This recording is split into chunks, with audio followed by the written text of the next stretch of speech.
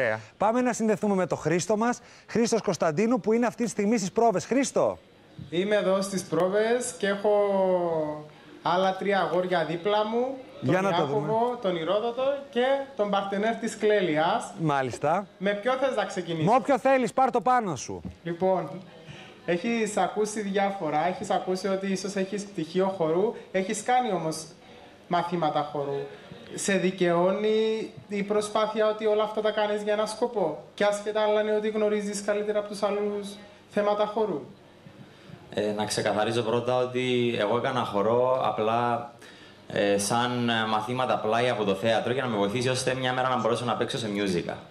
Αλλά το χορό το είχα πάντα από μέσα μου. Δεν πιστεύω ότι γίνεσαι χορευτής μέσα σε ένα μισή-δύο χρόνια, επειδή περίπου τόσο ήταν το διάστημα που έκανα χορό. Ε, βέβαια, με δικαιώνει όλη αυτή η προσπάθεια που κάνω, ε, γιατί είναι για ιερό σκοπό και ξέρω τι σημαίνει να σου στερεί το δικαίωμα να ζήσεις, σαν αυτούς που έχουν ε, καρκίνων κλπ.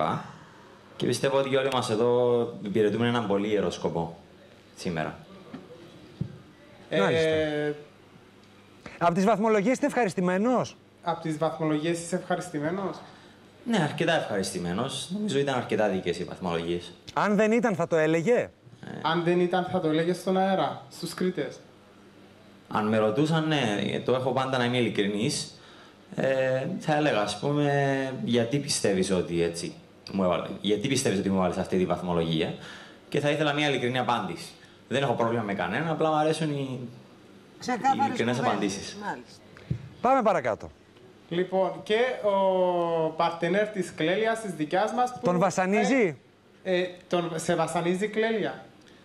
Έχω να πω ότι η Κλέλια είναι πάρα πολύ συνεργάσιμη και δουλεύουμε πάρα πολύ σκληρά για να βγάλουμε ένα καλό αποτέλεσμα. Και νομίζω είμαι πολύ χαρούμενος που έχω την Κλέλια για ντάμα.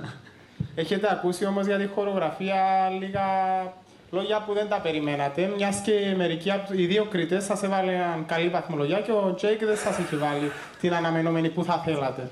Εντάξει, κρίνουμε την κάθε άποψη από τον καθένα. Ε, όσον έχουμε κριτικές, προσπαθούμε να γίνουμε και εμείς καλύτεροι, οπότε σεβόμαστε την κάθε κριτική.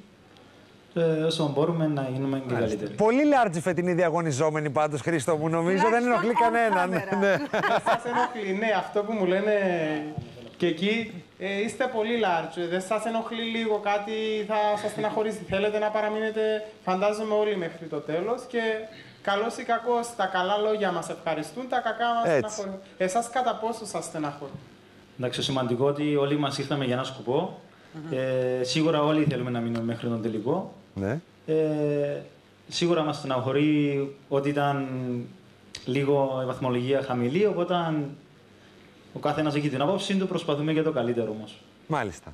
Πάμε να Ωραία. ολοκληρώσουμε, Χρήστο. Ε, σε αυτό που λέμε και ότι κάποιοι γνωρίζουν το αντικείμενο ή όχι, έχουν ακουστεί διάφορα και για κάποιους άλλους που τραγουδούσαν σε σκηνές. Απλά από ό,τι μου λένε εδώ τα παιδιά είναι ότι αυτό που κάνουν εδώ το κάνουν με αγάπη και να μην ξεχνάμε ότι το 50% το έχει ο κόσμος που μας παρακολουθεί τώρα και το άλλο 50% η Κριτική Επιτροπή. Θες να μας πεις και εσύ κάτι γι' αυτό, γιατί και για σένα έχω ψηλακούσει ότι τραγουδούσες... τραγουδιστής. Ε, όχι, φυσικά δεν είσαι τραγουδιστής, αλλά... Άκουσες ή άκουσες καλά, γιατί ε, τραγουδείς μια μουσική θεατρική παράσταση σαν ηθοποιός. Οπότε τώρα συζητάμε αν είμαι τραγουδιστής ή όχι, νομίζω δεν υπάρχει λόγος. Όχι. Εξάλλου, τραγουδιστής είναι αυτός που είναι δισκογραφημένος. Χρήστο, βάλει το ακουστικό λίγο. Αλλά ποτέ ένα τραγουδιστής δεν είμαι. Θέλει δύο λεπτά να, σου, να σε ρωτήσω κάτι. Καλή επιτυχία και για σήμερα. Καλή επιτυχία. Ευχαριστώ, Τάσο μου. Ε, Γεια ο- σου, Έλληνα μου. Γεια σου, Ρόδοτέ μου. Ο πύχης έχει ανέβει πάρα πολύ η Ρόδοτη. Δηλαδή, έχετε πάρει τρία δεκάρια, τρία δεκάρια πρώτο, δεύτερο live. Σε φοβίζει το μετά. Δηλαδή, αν σήμερα, ας πούμε, αν θα είναι καλή ή όχι η βαθμολογία; Ε, εγώ να σου πω, έχω την ίδια χαρά μέσα μου όπως τα άλλα τα προηγούμενα δύο live. Έχω την ίδια αγωνία να βγω να τραγουδήσω, να, να δείξουμε τη δουλειά μας. Να με φοβίζει. Όχι, δεν με φοβίζει. Δεν σου δημιουργεί λίγο άγχος παραπάνω, γιατί τα δεκάρια είναι πολύ εντυπωσιακή η Μου βαθμολογία. Δημιουργεί μια έτσι ανάγκη να, να, να γινόμαστε καλύτεροι και καλύτεροι κάθε φορά.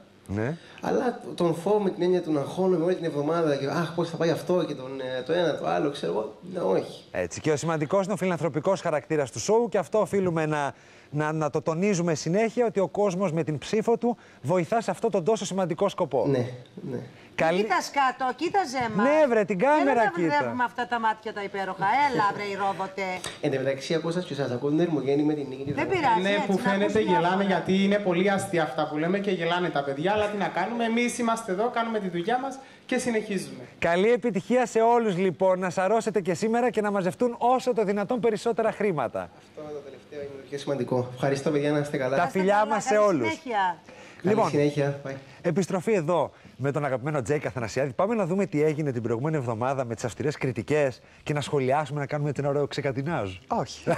Δεν έχεις κάτι καλύτερο να κάνουμε. Ξέρω εγώ να παίξουμε ένα παιχνίδι. Τα βλέπω σε όλα αυτά τα, τις εκπομπές τις απογευματινές. Παίζουν παιχνίδια, βάζουν... Εμείς Κάτι είμαστε τέτοιο. ανάποδοι άνθρωποι. Δεν, κάνουμε, δεν κάνουμε ό,τι κάνουν οι άλλοι, κατάλαβε. Μα και αυτό μην ξεχνάς ένα παιχνίδι είναι. Σωστά. Να το δούμε το παιχνίδι Είδες αυτό. την ηθοποιό.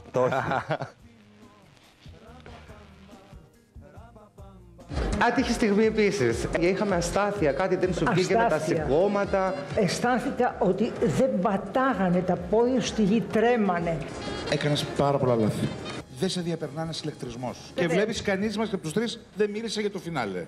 Το οποίο ήταν ο Τιτανικός. Καμία σύσπαση, κανένα συναίσθημα. Τίποτα. Κάτι δεν μου άρεσε. Λάθος επιλογή τραγουδιού. Τζέικ, Εγώ θα είμαι αυστηρός. έξι. Ναι. Έξι. Τι λες βρε. Τι πάθατε, Κάτι υψηλό έως χοντρό φάλτσα άκουσα. Τι το θες τώρα αυτό που μου τραγούδισε εμένα, τι να το κάνω εγώ που βαρέθηκα; Δεν χρειάζεται να